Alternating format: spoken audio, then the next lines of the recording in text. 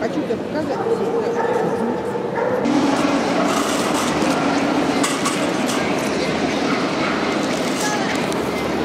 Так, э, следующий это у нас кабель цветной, цветной окрас. Э, Кабели открытый класс, цветная мечта Казанова Конжурер Херц. Заводчик Гарбус, владелец Нестерова Омск.